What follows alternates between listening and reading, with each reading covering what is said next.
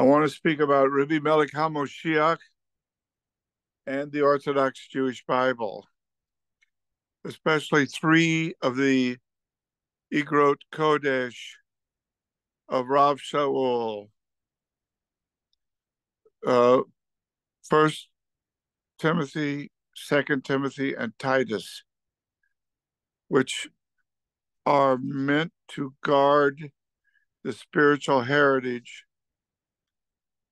with sound doctrine, warning against false teachers, and making it clear that we want good leaders to be put in place to watch over the flock of God. And so these letters exhort uh, these assistants, these co-workers of Rav Shaul to preserve the spiritual heritage, to keep the faith, to be strong under adversity. Uh, he uses in the first, uh, well, actually, the second epistle, he talks about this, uh, the metaphor of a soldier, chapter 2, verses 3 to 4, a farmer, chapter 2, verse 6, an experienced worker, chapter 2, verse 15, and also household utensils, chapter 2, verses 20 to 21. He uses these metaphors to try to make Timothy understand he has to imitate um, as a strong and worthy servant of the good news, the Basuras Hageolah, what he's seen and heard in Rav Shaul's life. Because he tells us that in the last days, people will degenerate. Look at uh, uh, especially um, chapter chapter three, verses one to nine. I just want to. Oh, Timothy says the deposit, the uh, picadon, the, the the deposit entrusted to you, be shomer over, turning away from profane, empty utterances and oppositions of the falsely named das or knowledge. And this verse, verse 20, of chapter 6 of First Timothy, the letter to Timotheus. This is where he speaks of the deposit. We have been given a deposit. And he says, It is because of these things also that I suffer. But I'm not ashamed, for I know whom I have believed, and I've been persuaded that he is able to stand shomer guarding until Hayom Hahu, the Picadon, the deposit entrusted to him by me. Notice when he writes these letters and they're dictated and they're written down, in the natural, he has no way of knowing that they will be preserved. But he believes that God will will will preserve them and God did. He, he tells this young uh, Timothy, Timotheus, follow the pattern of sound Orthodox Jewish Devarim, which you heard from me in Emunah and Ahava in Rebbe Melech HaMoshiach Yehoshua, Yeshua. Stand Shomer over the Orthodox Jewish picadon. There's that word again, deposit, entrusted to you through the Ruach HaKodesh dwelling in us. There is a deposit that we have to guard. And our preaching has to reflect that deposit. What things you have heard from me through Edim Rabim, through many witnesses. These things commit to Anashim Ne'emanim, faithful men of Zerizis, reliability, who will be qualified, Morim, to teach others also. So this these things were not done in a in a uh, corner. There were faithful men who were witnesses. And when we preach, there are faithful witnesses who hear the faithful word of God, which came to us from faithful men, and we are to entrust these words to faithful men and women. And that means that the Devar Emes, the word of truth, is trustworthy.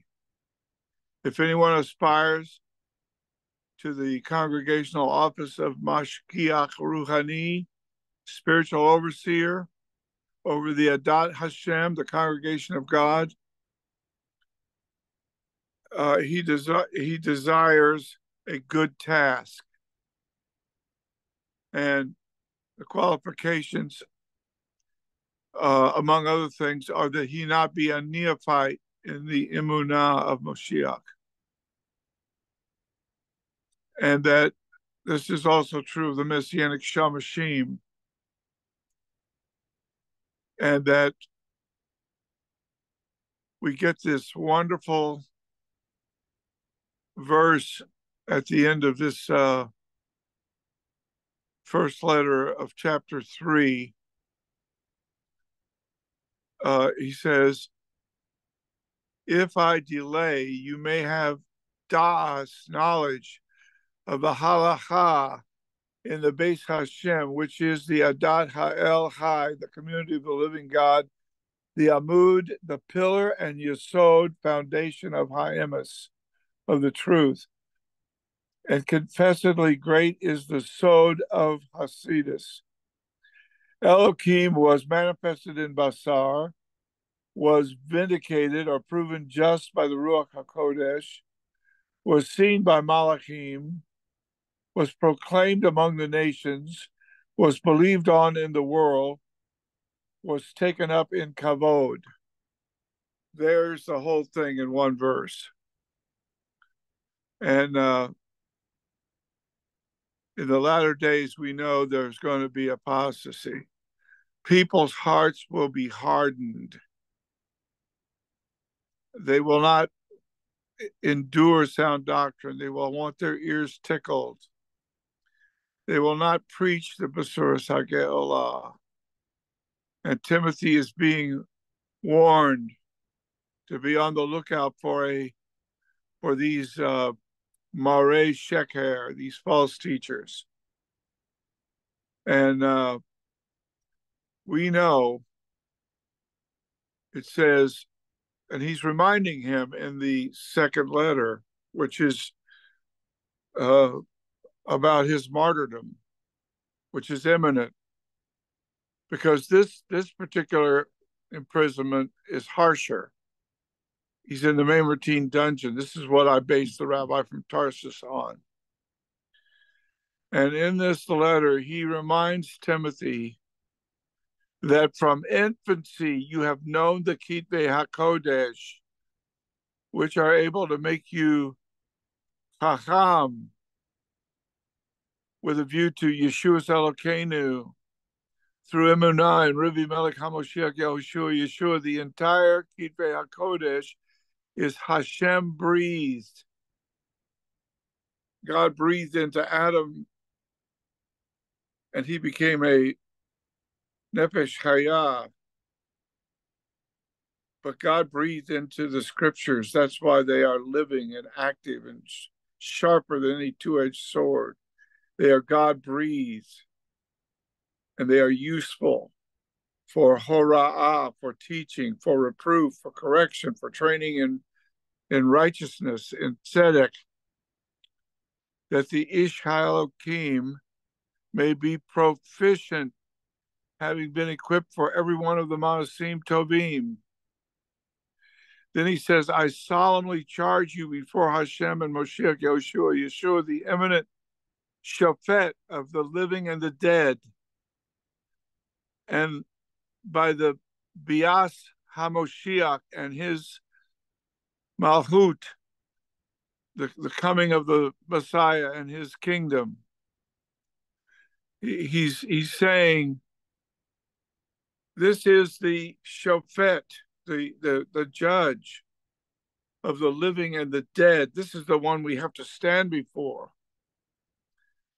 And, and then he's giving him these orders. He's saying, attend to Hatafa, preaching of the Devar Hashem, be ready in season, out of season, expose, rebuke, encourage with all long suffering and hora'ah, teaching. For there will be a time when sound, Haredi, Orthodox, hora'ah, they will not tolerate. But according to their ta'avot, their their lusts, they will accumulate morim to tickle their ears.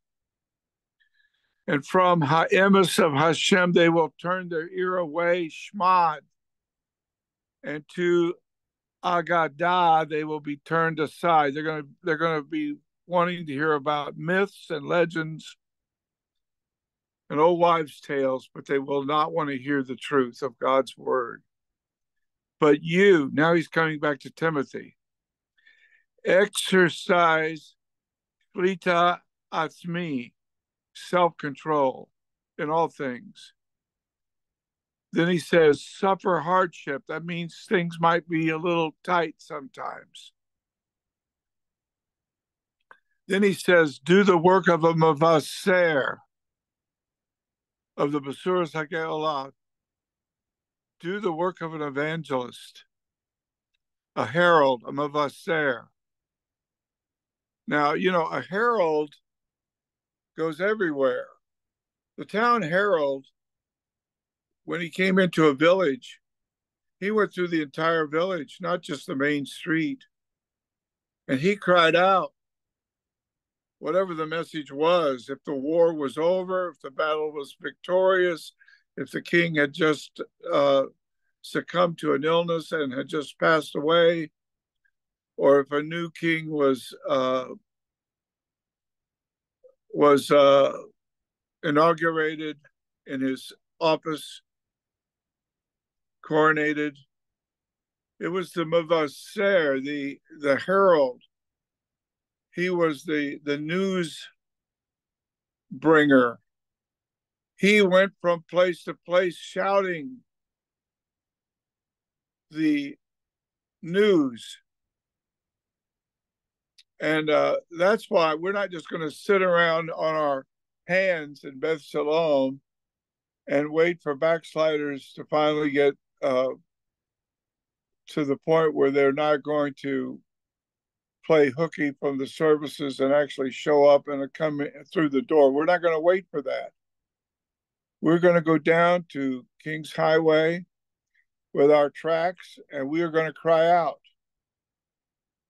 And if they don't want to hear, if they turn away, that is not our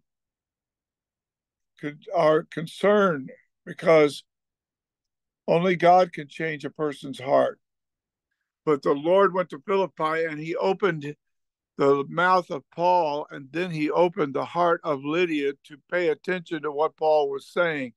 Now, when we are on the street, Wayne will be talking He'll be preaching, and people will be walking by and they will not be paying attention. But occasionally, someone's heart will be opened. There was a lady about three Sundays ago, and her heart was so open to what I was saying that she actually started weeping, standing there with tears in her eyes, listening to me. Not only did she stop, and not only did she listen, but she wept. Now, she promised that she would join us on this Zoom meeting, but she hasn't done that yet. But nevertheless, that doesn't take uh, away from or detract from what I just said. We have to do the work of a mavaser. if I had sat around looking at the four walls of Beth Shalom and waiting for these people to show up, uh, I would never have seen the tears in her eyes. It says, do the work of a Mavaser. Fully carry out your Avodas Kodesh ministry as part of your worship. What kind of ministry? Kiruv Richokim. The the outreach, the bringing near the faraway ones. Then he says, why it's it's so important for Timothy to be on point here and do the work of a Mavaser. He says, for or because already I'm being poured out, and the time for my uh, departure has come. And uh, he means that he's got to go and be with the Lord now. He's going to be martyred. And uh, there are many mitnagedim. Mitnagedim are the opponents, idle talkers and deceivers, especially the ones of the party of the Moalim Hagoyim, the false teachers, circumcisers of Gentiles whose mouths, their mouths, it is necessary to stop, who are subverting entire mishpachot families by teaching what they ought not for the sake of dishonest guilt. Uh, so we don't pay attention to Jewish agadot and the precepts imposed by the rabbis the laws that are not from the scriptures, but from the mouths of sinners. We don't want to become Meshumad, apostate from Ha'emes. And uh, we know that all of us were once without knowledge, Sorarim, disobedient, being led astray, Avadim, slaves of lusts, to various Tanugot pleasures of the Olam Hazeh, spending our days in Eva, enmity, and Kina, jealousy, hated and hated and hating one another. But when the Hin Hesed with the grace and the Ahavas Hashem Moshienu, the love of of God our Savior appeared to Bnei Adam, not by tzidkateinu, not by our righteousness in Maasim Tovim and good deeds, which is to our zikas or merit, but according to his rahamim, his mercy, he granted us Yeshua Elokeinu, salvation through the mikvah mayim ruhani of rebirth and hitchadshut regeneration of the Ruach HaKodesh, which Hashem poured out on us richly. Hallelujah. And having been made Yitzdak im Hashem, justified by the grace of God, that we might become heirs, Yorashim, in the Tikva Hahaye Olam, the hope of eternal life. Lord, I want to thank you for these words, these words that were given to Timothy and Titus. And we thank you for Titus, whom God used whenever Paul had a tough situation in Corinth or some other place. Who was the man that he sent, the, the man for the tough tasks? It was Titus. He was dependable, Second Corinthians 8 17. He was reliable, Second uh, Corinthians 7 6. He was diligent, Second Corinthians 8 17 again. He had a great capacity for human affection, 2 Corinthians 7 13 to 15. He had strength and tact. And it was Titus who calmed desperate situations in the house of God. And he's a good model for us and for a minister. And we need to study his letter too, where Paul advises him on the qualifications of leaders and warns him about false teachers and proceeds to list the ideal characteristics that he should find in the house of God. And we know that Titus was in Crete. We know that Timothy was in Ephesus. We know that God used these two men to help Rav Shaul greatly. Lord, we pray right now that someone will hear this, this, this wonderful reading, basically from the so-called pastoral epistles. These are Igrot Kodesh, written to two leaders that Paul Rav Shaul was entrusting his ministry to, that they would guard the good deposit that God had given him. And we thank you, Lord, that we have the Brit Hadashah today, a book much reviled by ignorant men, a book not understood by unspiritual men without the Ruach HaKodesh but a wonderful book in that we now have in a triglot with the Hebrew lettered Yiddish on one rung for each word with the transliterated Latin or translation uh, under the second and third rung of the triglot for each word. So each word can be properly pronounced and understood so that Yiddish is no longer a mysterious language. It is now unpacked in the most important book ever written, the Brit Hadashah. And we know, Lord, that you whistled and you brought your best people in for this. You had been saving them all along just for this. And now you're blessing them. I believe one of them in England has gotten some kind of healing blessing because he has blessed the Jews. And this man has done 70 African translations and now two or three uh, Jewish translations where he's helped me.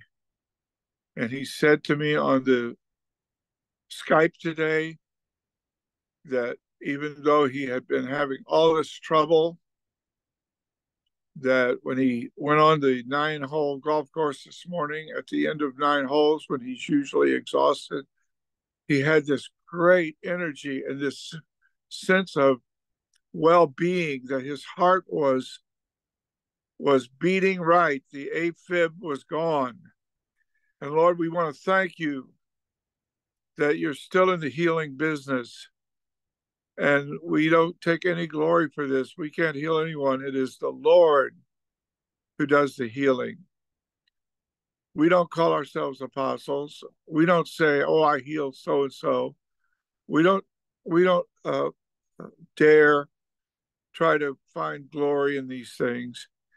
It is God that does this, and we are His unworthy servants. And we thank you, Lord, for blessing those who bless the Jews. And we thank you, Lord, for the YiddishBible.net website, which this man was instrumental in helping us put together. And we thank you for all these people who have helped us. So we ask you, Lord, to bless all of them.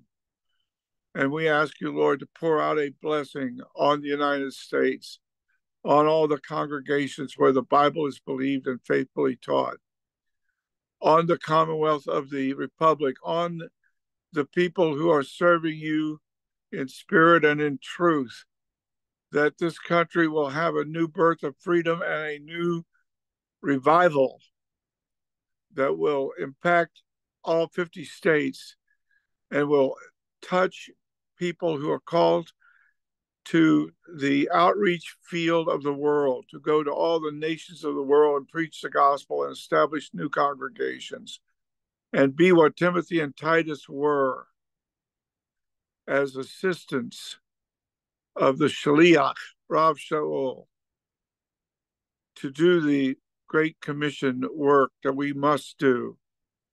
Lord, we ask that you would bless us and help us to continue to run this race, to keep this, to keep the faith, to finish the course. Yeshua HaMashiach, come into my heart, forgive my sins, take control of my life, and I will serve you and follow you all the days of my life. I thank you for the kapora that you made, a lamb led to the slaughter. Isaiah 53 7 on Pesach, the blood that gets me out of Egypt, out of bondage, out of sin and death and the grave.